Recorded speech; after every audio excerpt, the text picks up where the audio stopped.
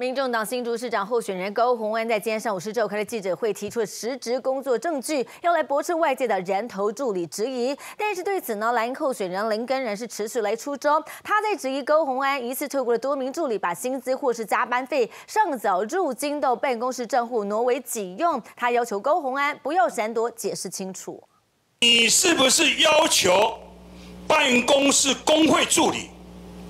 上缴款项？在爆料对手高虹安助理费争议，国民党新竹市长候选人林根仁秀出资料明细，发现高虹安利用公费助理上缴现金到办公室账户，根本当作自己金库用。为何你办公室工会助理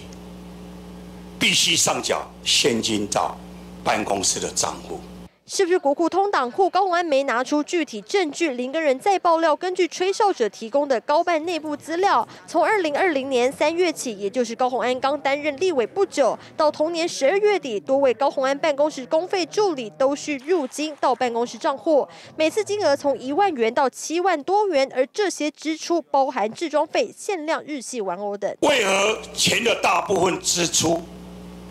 都是高委员你个人使用？其中还有两笔支出，分别是八万元和八万八千元。名目支出居然是给高红安的李姓男友。经计算，十一个月期间，公费助理共上缴八十七万五千八百六十一元，金额接近高红安办公室十一个月内可申请公费助理加班费最高上限九十三万三千五百九十二元。关于李姓助理涉嫌可能诈领助理费的这件事情，那事实上，呃，大家提出质疑已经过。过了一周了，那今天您跟人又提出更多的相关的问题，那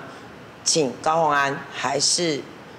诚实的面对。被蓝绿对手再质疑助理费争议，高鸿安还没澄清清楚，又有新事迹败露，恐怕再度让高鸿安新主选情岌岌可危。这新竹综合报道。向左右